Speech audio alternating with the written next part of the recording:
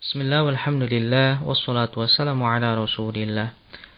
Berbicara mengenai istiqaq, maka Syekhul Islam rahimahullah menyebutkan bahwa mempelajarinya sangatlah penting karena ia berkaitan dengan makna yang terkandung pada suatu kata.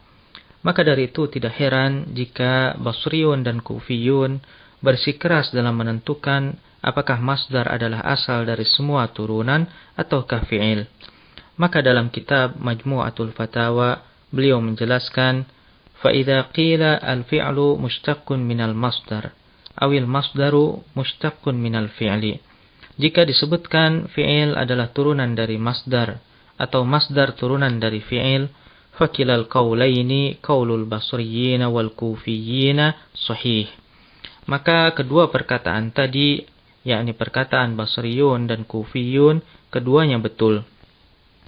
فإذا أريد الترتيب العقلي فقول البصريين أصح Jika yang dimaksud adalah urutan menurut akal, maka pendapat Basriun lebih tepat.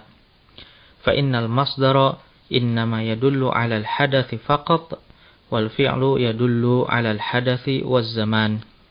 Karena masdar hanya menunjukkan pekerjaan saja, sedangkan fi'il menunjukkan pekerjaan dan waktu. wa in urida tartibul wujudi wa huwa taqaddumu wujudi ahadihima 'ala al-akhar fahadha la yanbabit. Namun jika yang dimaksud adalah urutan mana yang lebih dahulu ada, maka tidak bisa ditebak. Faqad yakununa takallamu bil fi'li qabla al-masdar wa qad yakununa takallamu bil masdari qabla al-fi'li. Terkadang fi'il dahulu baru masdar Terkadang masdar dahulu baru fi'il.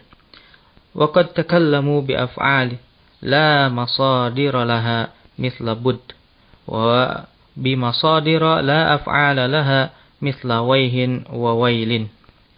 Terkadang mereka menyebutkan fi'il tanpa masdar seperti bud. Kadang juga masdar disebutkan tanpa fi'il seperti waih dan wail. وصلى الله على نبينا محمد وعلى آله وأصحابه وسلم.